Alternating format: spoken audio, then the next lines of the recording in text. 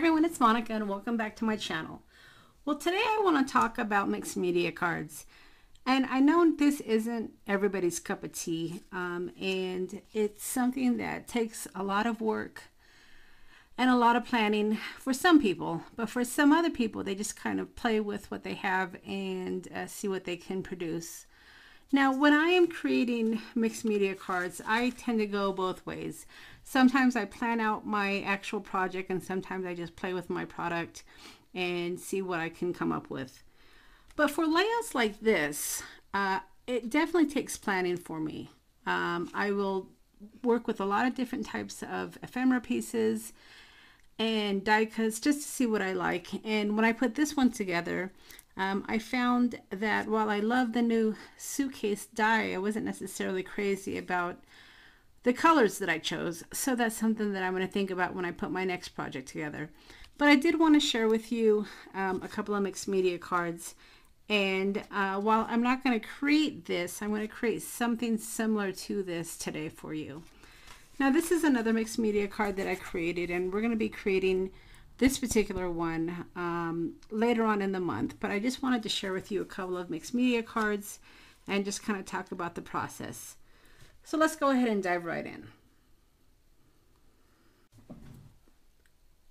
So the first thing you're going to want to think about is the base that you're going to work with. And this is just an insert from an old picture frame um, that I'm using. And I did this last year where I just kind of layered it with paper and then I created a scene and it works really nicely. I don't think you can see it, but it stands up nicely and I can use it for the holidays just as an decorative, an extra decorative piece. Um, and this is what we're going to work with. So you want to figure out what your base is going to be. And there's lots of ways you can go. You can use um, old cutting boards. You can use frames.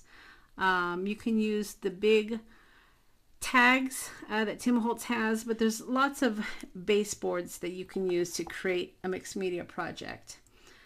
But today what we're going to be working with is this frame, and this is from Tim Holtz. And when I opened it up, uh, this is kind of how it comes. Um, and it gives you a nice surface to work with. Um, and then once you're finished, you can, you know, put your frame together. So when I am planning to do a layout, like I said, I tend to kind of figure out exactly the way that I'm going to go first. And then once I have it laid out, I take a picture of it. So that way I have an idea of where my pieces went.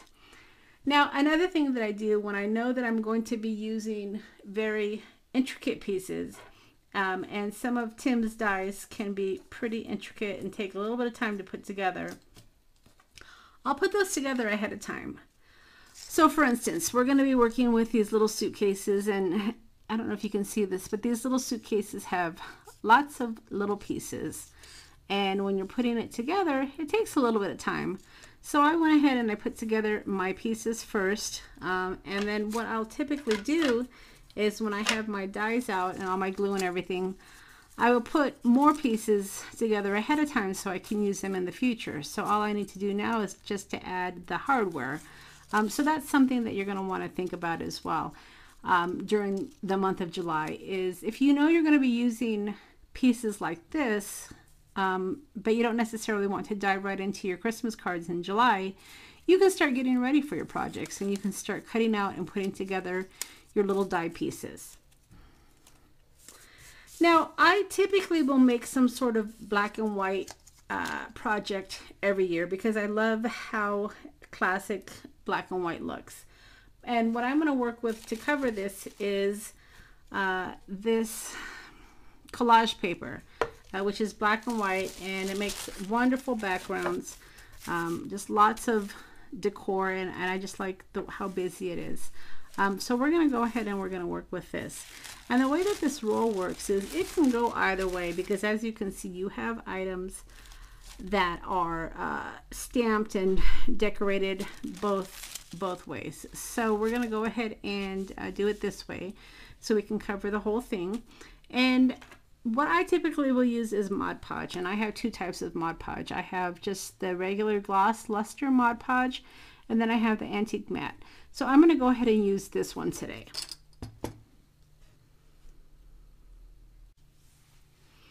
Okay, so the first thing that I did is I went ahead and I just cut out two pieces and um, made it a little bit larger than my actual surface. And then I just have to figure out which pieces I want to go where. Now for the bottom piece, I'm not going to have to use the whole piece of tissue paper, so I'll have to figure out if I want to use the top part or the bottom part. But honestly, the, the whole background is wonderful, so I don't really think it's going to make a difference what I use. So I'm going to go ahead and um, put some of my Mod Podge on this. And this Mod Podge is actually a little bit more expensive than the regular Mod Podge. Uh, but if you like to have your items have a little bit of a antique matte, uh, this is a nice product to use. Okay. And then I'm going to go ahead and just use my Mod Podge brush here and I'm just going to add some of my product to the background. Now if you've never used Mod Podge before, it is an adhesive um, and uh, it works great for collaging. So I'm just going to go ahead and add this and you don't want it to be too bubbly or too wet because we are working with tissue paper and it could tear your paper if it's a little bit too wet. So kind of keep that in mind. And this brush is, is really tight so you're able to smooth out your layers nice nicely. All right, so I'm going to go ahead and add my first layer here.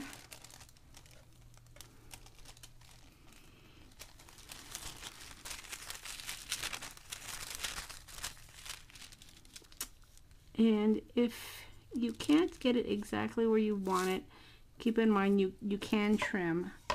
And you want to be careful because sometimes with this adhesive, the drying time is pretty quick.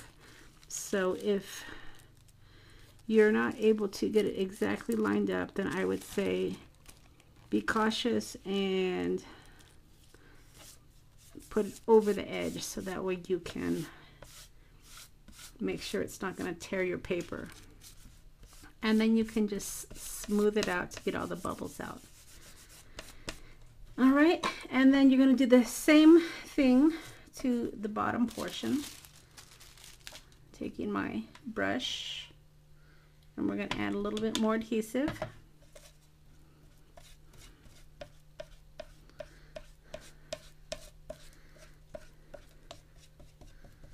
Okay and then we'll add the bottom portion.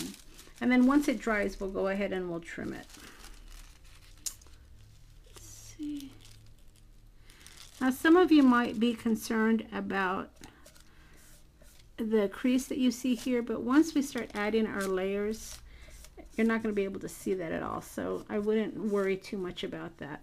And there's lots of ways that you can camouflage that crease. So don't worry about there being a line there. All right, so I've got my background and I'm going to go ahead and let this dry a minute. If you are concerned about it sticking or staying down, you can always put another layer on top just for extra glue. And sometimes it's necessary and sometimes it's not. But we're going to go ahead and make sure we do that over the crease uh, just to make sure it's nice and secure. And then we're going to go ahead and let this dry.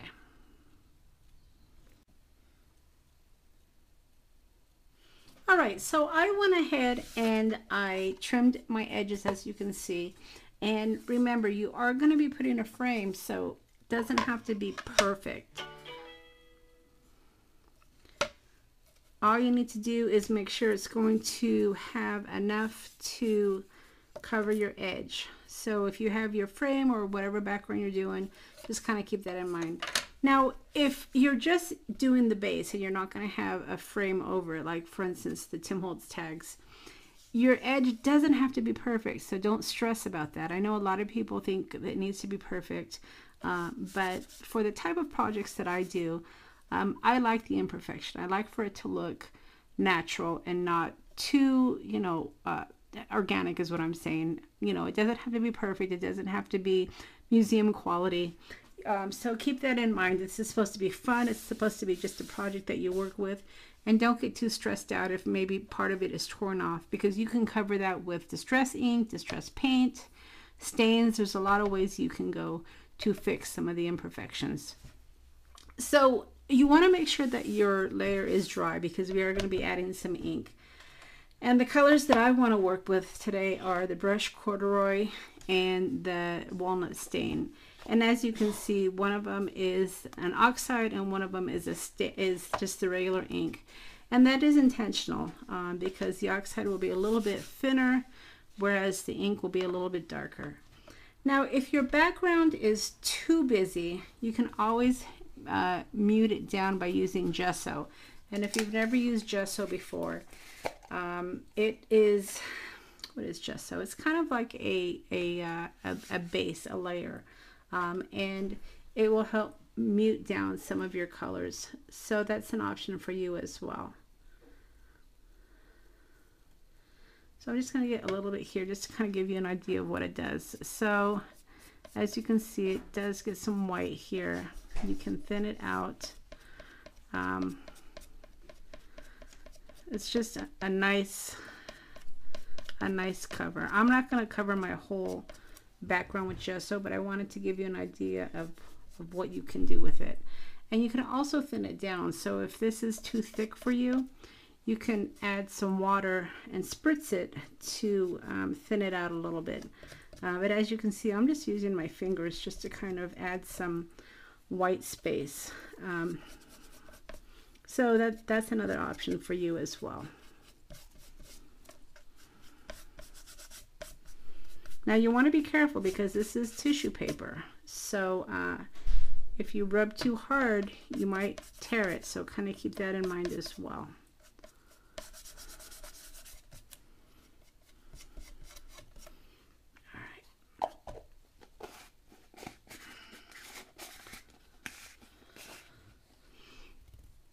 Now your gesso isn't necessarily eh, necessarily an adhesive, so if you're looking for it to be able to work as a glue, that's not necessarily what it works for. So keep that in mind as well. It's just an ability to kind of whitewash your background a little bit to give it a little bit more interest. All right, so now we're ready to add some of our ink. And for the edges, I'm going to use my walnut stain just because again I want it to look kind of old and walnut stain tends to be my go-to ink for my edging. And all I'm doing is just using my sponge applicator getting some ink on it and then adding it around the edges. Okay And where you had that white, that walnut stain is going to pick up really nicely. So kind of keep that in mind as well. Now, if your tissue is dry and your uh, edges aren't curled up, you shouldn't have any problem with it tearing. You probably don't want to add your ink this way because it might pull up your edges. So make sure you are working on the outside. And then for the brush corduroy, let me just take off some of this ink here and get another dauber. I might just actually just kind of brush over it just to add more color. Yeah, looks well. Okay. And that will help mute out your, your background as well. All right, now we're ready to start putting our design together. And typically I like to start with the focal point for my backgrounds. Um, and I'm going to go ahead and use this ephemera piece from Tim Holtz. And I'm going to add a little bit more walnut stain to it.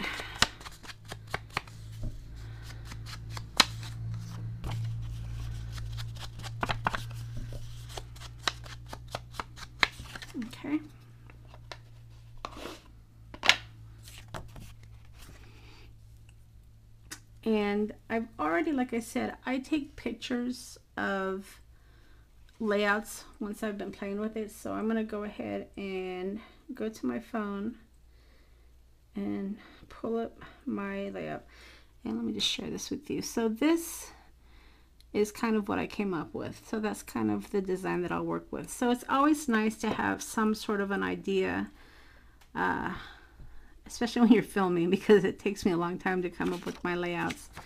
Uh, but some sort of an idea of, of where you want to go.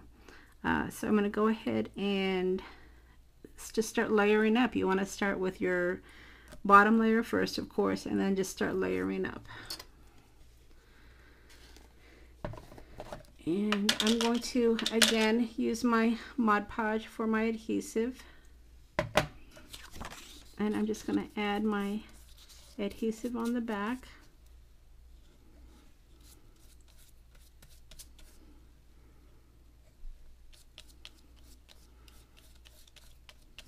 Okay, and then figure out where I'm going to go here.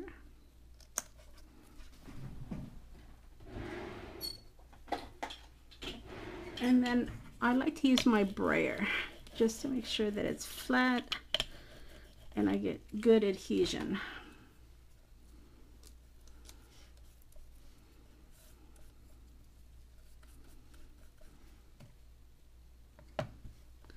And with Mod Podge, you can add it underneath as well as on top.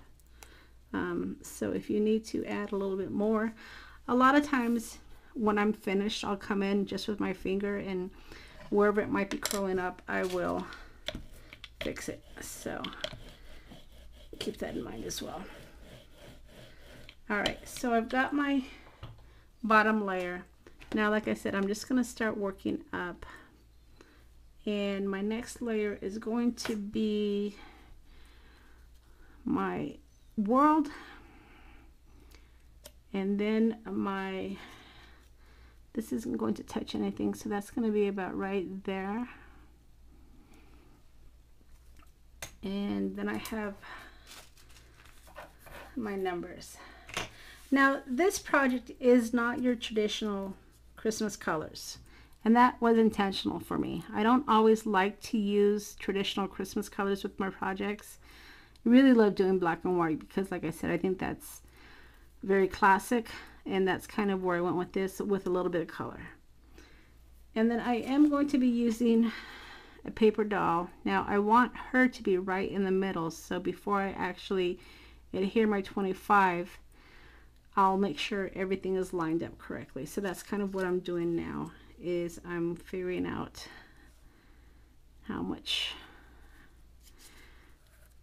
how, how, how, tall, how tall I need this to be. And I want my Christmas to show because it is a Christmas design. So there is some strategy involved in the way I am layering my, my items. Okay, and then I'm going to come in with my, let's see,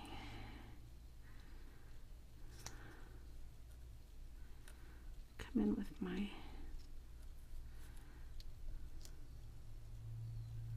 suitcases. And then go a little higher. So this is what takes the most time and that's why I said it's a good idea to typically figure out where you're going ahead of time um, just so you have all the pieces that you know you're going to need. And I think that probably going to work something like that and then she'll go right there. Okay, so now we have a general idea. Let's go ahead and start adhering our pieces. So the next piece that I'm going to work with is my world. And again, I'm just adding my Mod Podge to the back to adhere it. And then we'll come over it. Now this type of a layout you can do not only I'm you know I'm making a frame but you can do it with cards as well um, so uh, you just have to make sure that you take into consideration the size of your card and the size of the pieces you're going to be working with. Um, but you can certainly do these types of layered projects with, with greeting cards. They just might be a little bit bigger. Maybe a little bit harder to do it with the A2 cards um, because your pieces will have to be a lot smaller, but it, it certainly can be done. All right, so I'd like to have that toys showing. So again, if there's a particular part of the word you want showing, you have to be a little strategic about your placement. And then I want her to be in the middle. So somewhere around there.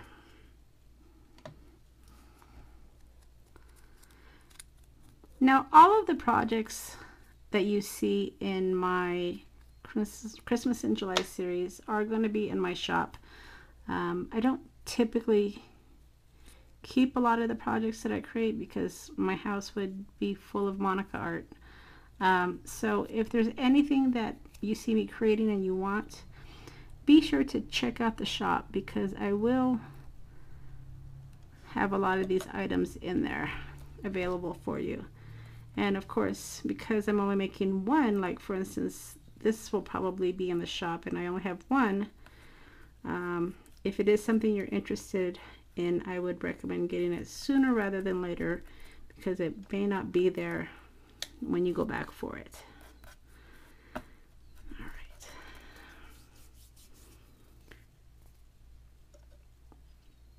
Now for her, I'm going to actually use glue. So we're going to hold off on that a minute. I just wanted to kind of get her placement. Uh, and I think I'm going to do glue for the suitcases as well because I want to make sure they stick. Probably could have done glue for this as well. Um, but we're going to go over it. All right, so I'm using my 3-in-1 beacon. And let's see.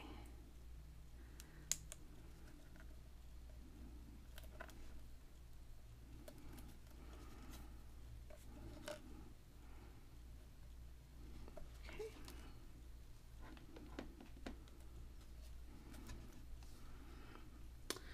And then the next piece. Oops.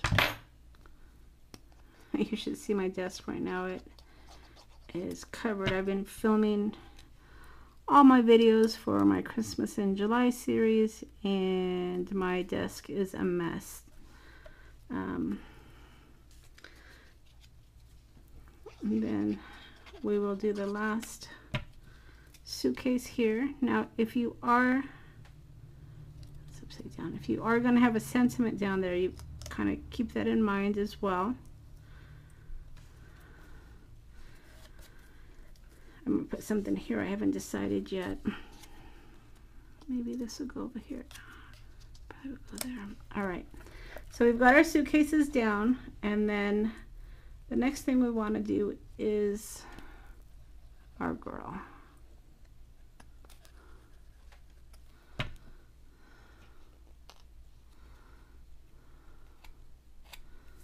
And she's going to go right on the suitcase.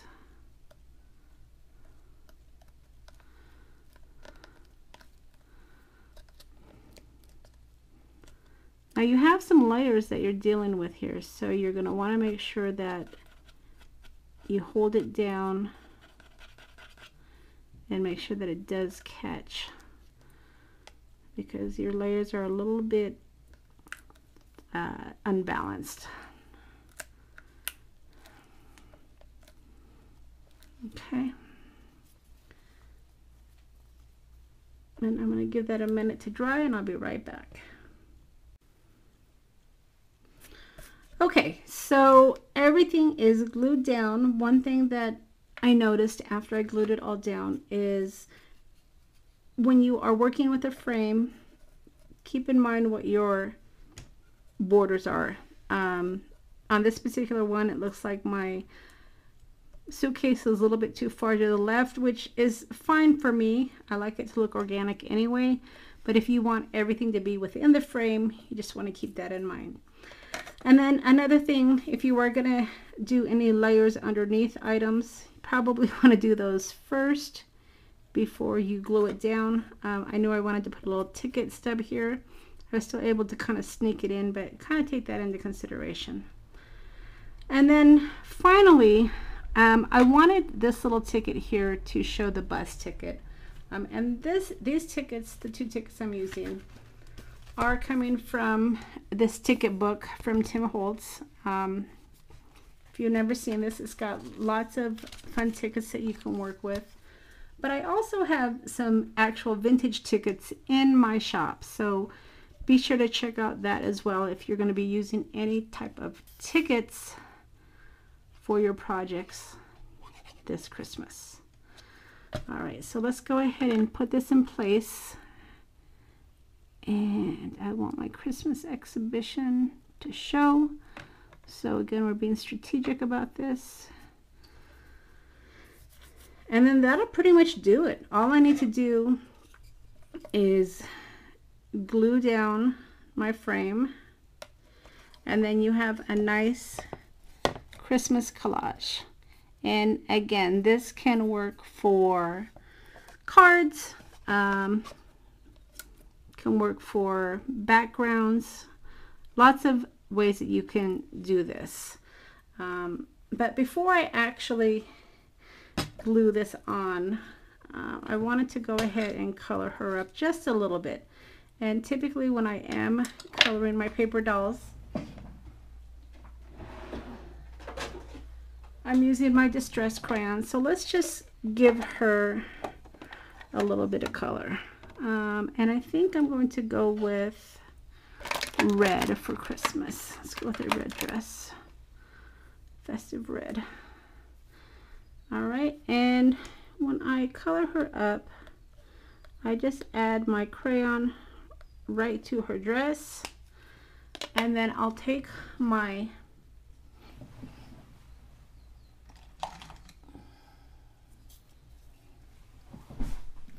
my brush along with my water and just kind of add a little bit of tint to her clothes.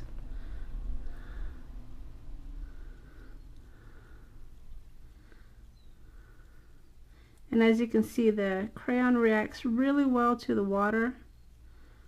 Uh, the only thing you need to worry about are your brush strokes.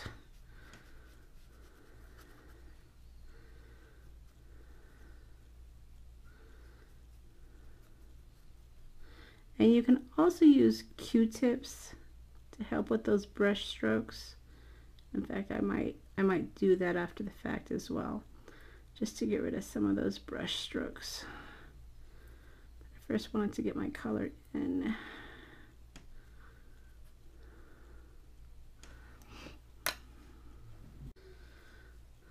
Okay, and I'm just going to soften this up a little bit.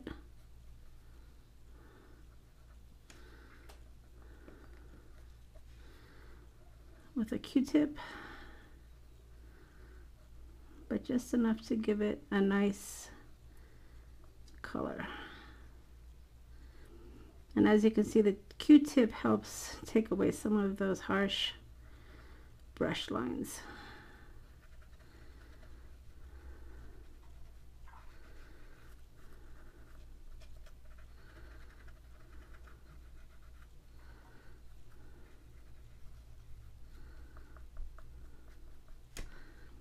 And then we'll go. Pink for the